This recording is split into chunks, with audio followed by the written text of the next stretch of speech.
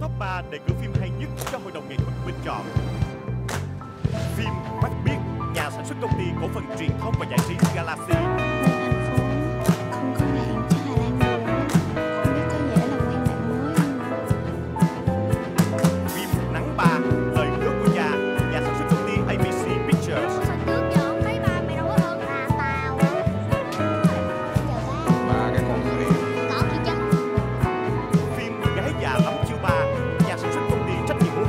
Sáu. Con chào cô Con cảm ơn cô. Vì đã mời con đi mua tiệc ngày hôm nay Tôi chịu nổi đường biết rằng cô sẽ đến. Xin được vinh danh phim Gái già lắm chưa ba. Phim điện ảnh hay nhất do hội đồng thuật bình chọn đạo diễn Nam Chito Bảo Nhân. Chúc mừng các bạn. Và xin chúc mừng và được mời lên sân khấu. Ekip của bộ phim điện ảnh hay nhất Gái già lắm chiêu. Và xin được chúc mừng nhà sản xuất công ty trách nhiệm hữu hạn 36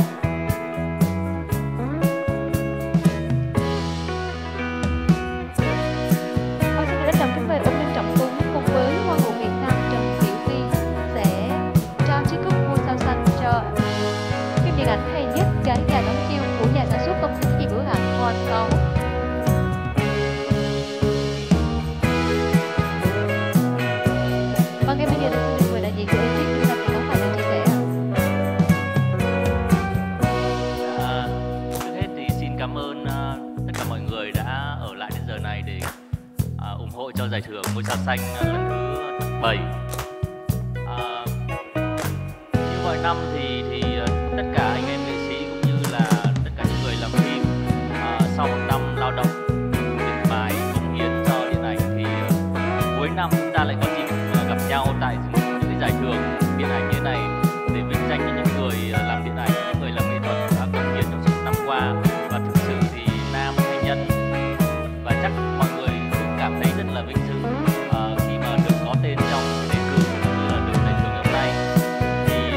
nay là năm thứ hai mà uh, Nam Phi và nhận được vinh nhận giải thưởng à, uh, phim xuất sắc nhất.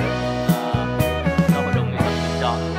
Và uh, Nam nghĩ là cái uh, ai được giải ngày hôm nay ai được đề cử ngày hôm nay cũng là những bộ phim rất là xuất sắc. Và cái giải đấu chiêu ba thì là một bộ phim mà được uh, sự may mắn hơn.